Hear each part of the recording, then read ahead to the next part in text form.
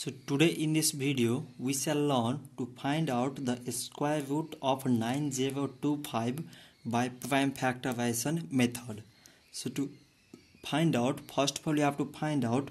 the prime factors of 9025. So it is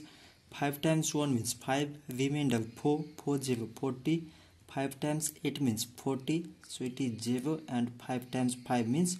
25 so it is 5 times 3 means 15 remainder 3 3 0 30 and 5 times 6 means 30 and 5 1 ja 5 so now it is 3 6 1 so it is equal to 19 times 19 so a square root of 9025 is equal to from these prime factors so we can write 5 into 5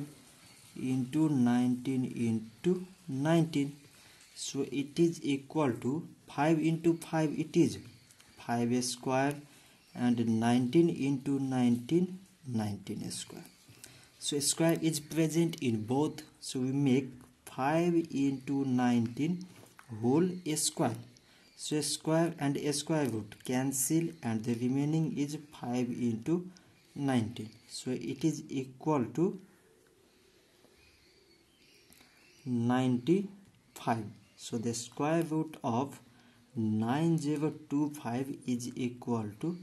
95 so this much for today and thanks for watching